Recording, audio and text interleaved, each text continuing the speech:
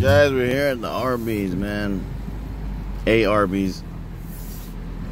So I'm gonna get that thing I got last time. It's like sliders, like a pizza slider and the buffalo slider. It comes up to only like 350 something.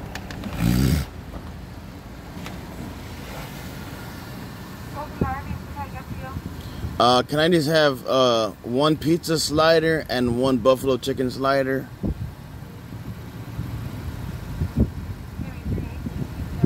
Oh, that's it. I know, I free Oh, okay. Thank you. Man, they had potholes in there.